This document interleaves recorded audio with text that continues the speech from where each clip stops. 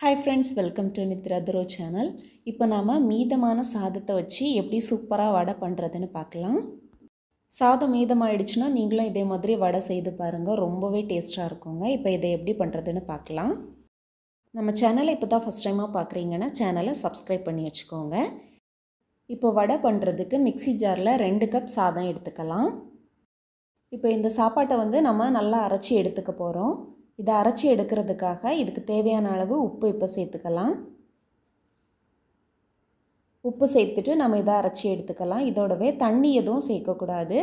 தண்ணி சேர்த்தோன்னா அது வந்து நல்லா கஞ்சி மாதிரி வந்துடும் அதனால் தண்ணி எதுவும் சேர்க்காம இந்த மாதிரி அரைச்சி எடுத்துகிட்டு வந்துடலாம் இப்போ அரைச்சி எடுத்த சாதத்தை ஒரு பாத்திரத்தில் எடுத்து வச்சுக்கிறேன். இந்த மாதிரி அரைச்சி எடுத்துக்கோங்க. இப்போ இந்த சாதத்தை வந்து தொட்டு பார்க்கும்போது கையெல்லாம் நல்லா ஒட்டி பிடிக்கும். இப்போ அரைச்சி வச்ச சாதத்தோட ஒரு டீஸ்பூன் அளவுக்கு ரவை சேர்த்துக்கோங்க. கூடவே மூணு டீஸ்பூன் அளவுக்கு பச்சரிசி மாவு சேர்த்துக்கலாம். இதோட ரவையும் அரிசி மாவும் சேர்க்குறதுனால நம்ம வடை பிடிக்கும்போது வந்து மாவு கையில் ஒட்டாமல் வடை சூப்பராக வரும். அதோடவே வடையும் மேலே நல்லா கிறிஸ்பியாகவும் உள்ளே நல்லா சாஃப்டாகவும் கிடைக்கும்.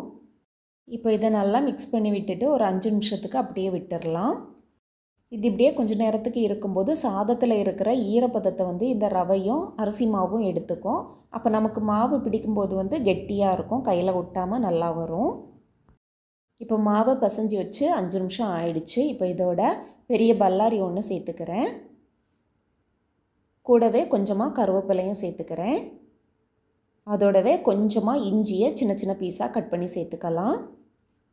கூடவே காரத்துக்கு ஒரு பச்சை மிளகாயும் கட் பண்ணி சேர்த்துக்கிறேன். இதோடவே ஒரு பத்து மிளகு வந்து தட்டி சேர்த்துக்கலாம். சேர்த்துட்டு இதை நல்லா மிக்ஸ் பண்ணி எடுத்துக்கணும். இதோடவே நம்ம ஏற்கனவே உப்பு சேர்த்து அரைச்சதுனால இப்போ உப்பு எதுவுமே சேர்க்கலை. உப்பு கரெக்டாக இருந்தது. இப்போ வடைக்கு மாவு எல்லாத்தையும் நல்லா பிசைஞ்சு எடுத்தாச்சு. வடை போடுறதுக்கு எண்ணெய் வந்து சூடாகட்டும். கையை வந்து தண்ணியில் நனைச்சி எடுத்துக்கோங்க. அப்போ தான் வடை தட்டும்போது கையில் ஒட்டாமல் வரும். இப்போ வடை தட்டி அதில் போட்டுக்கலாம்.